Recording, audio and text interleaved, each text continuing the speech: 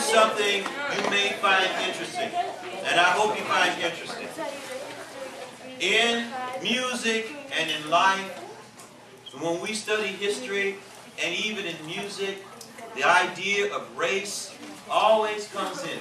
And here's where it comes in in the creation of jazz. These concepts here. Louisiana is where New Orleans is. New Orleans was a French colony. They had a different code of dealing with race. In most of the rest of the United States, if you had one drop of black blood in you, you were considered black.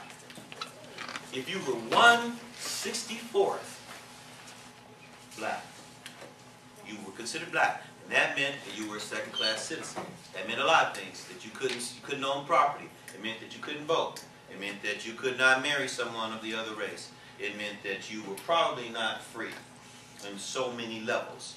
Jim Crow are rules of laws that, that legislated that amongst people.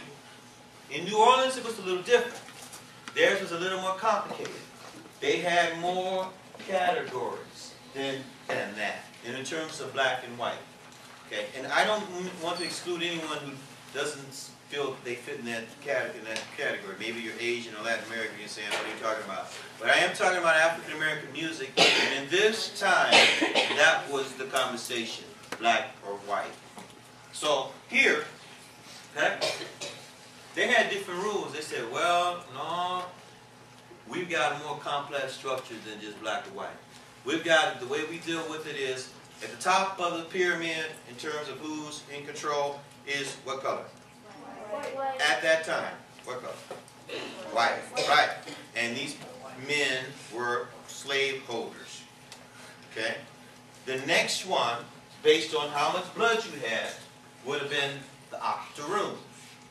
That meant they were one-eighth black. Okay? The next one in the pyramid, with different set of rights and different rules, would have been quadroon. Meaning what? Four. Quarter or fourth black. And this word is politically incorrect, but it is the word that is used in the history books, mulatto. We don't, we don't use that word nowadays, but it means a person who is mixed, or in this case, half. Okay? So the person who was half was near the bottom. And who was on the very bottom of this structure? The person who was not mixed at all, who was all black. So the way that relates to jazz is these people had rights. They were limited and they were second-class citizens, but they could be educated. Like the octoroon, for example, some men, some men, and this is just terrible to me, but some men were allowed, white men were allowed to have a quadroon girlfriend. And they had octoroon babies. Now, octoroon, I'm sorry, the other way around. But an octoroon could go to be educated. and the quadroon could be educated. They could be educated. Whereas the person, black person at the bottom could not be educated.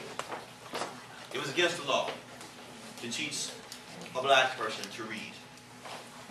Against the law. Okay?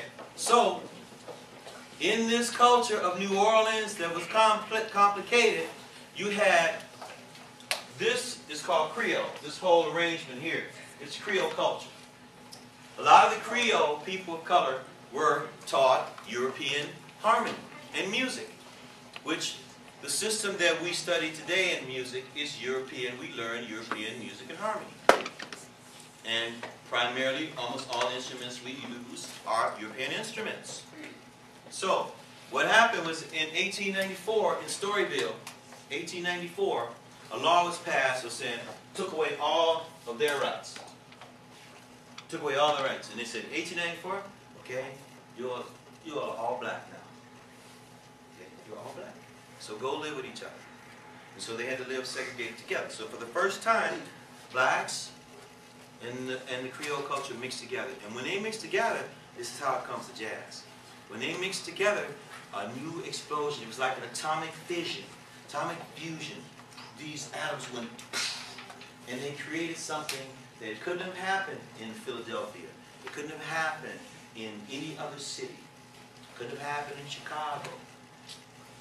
New Orleans it happened, and it gave the world jazz and all kinds of other jazz. Don't you think that's an interest, interesting way how culture can affect, and even how laws can affect music, I find it interesting. And I, and I, I hope you do too. So, New Orleans, this was the first style of jazz. It's called Dixieland or New Orleans jazz. Okay? And there's different, there's Chicago Dixieland. And that leads us to swing, which leads us to Duke Ellington. And Duke was one of the greatest musicians ever. Over 20,000 performances he did. And if you had, we had time, you could do the math and see how many that is a year for over like uh, 50 plus years, 55 years. He wrote 2,000 pieces of music. Very important band members, and I'm gonna, we're gonna listen, we're gonna watch this little video until we run out of time, okay?